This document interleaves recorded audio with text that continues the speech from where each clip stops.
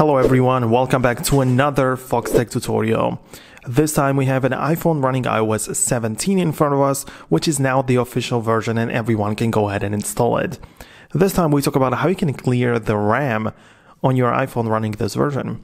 And it's actually pretty simple, but there are some things you should have to enable at first. So let me just show it to you right now. So you open up the settings and I just want you to go to the accessibility section, tap on touch and enable assistive touch. Assistive touch is basically this floating button which shows you multiple different options. But yeah we'll just keep it on on the screen. You can move it around if you want but let's just keep it enabled for the moment.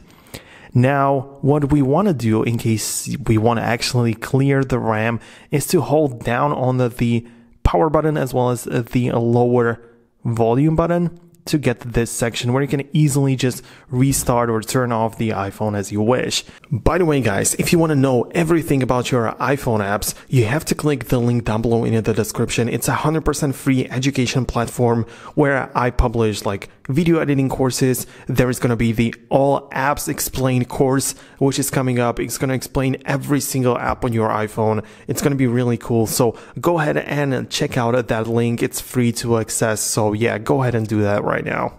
But instead of doing anything in here, all you have to do is to click on the button, the assistive touch right here, and just click on home. I believe we need to hold down on it. And if I do it like this, you should be able to get to the main section. I believe that it should work for you, and if it does not, then probably something is happening. But the thing is that after you come back, the iPhones should clear the entire thing and every single app should be cleared in terms of the RAM. So this should not really be uh, the issue. Now, every single app that you would open should actually be cleared and open as a fresh start. So this is like one of the options, but the second one is to simply turn off your iPhone entirely and restart it. Because after you do that, every single thing is going to be reset in terms of the software. All of the apps are just going to be closed and everything has to be reopened again.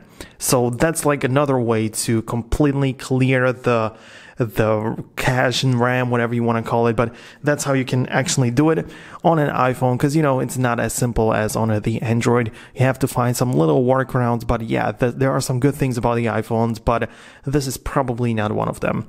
But yeah, that's everything what you should know about this specific topic. Hope you found this video useful. If you did, make sure to leave a thumbs up, subscribe down below, and I will catch you in the next one. Peace out until then.